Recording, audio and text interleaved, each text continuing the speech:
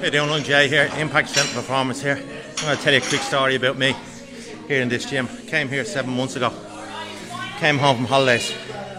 Got seven kids on the boat and I couldn't get back on the boat. I was like one of them tuners on the Discovery Channel trying to get back up on the boat.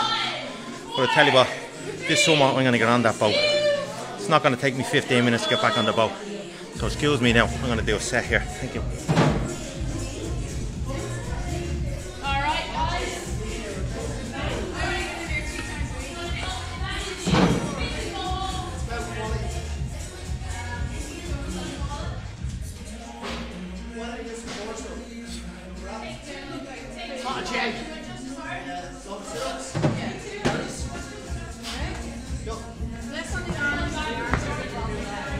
That's how we do it here.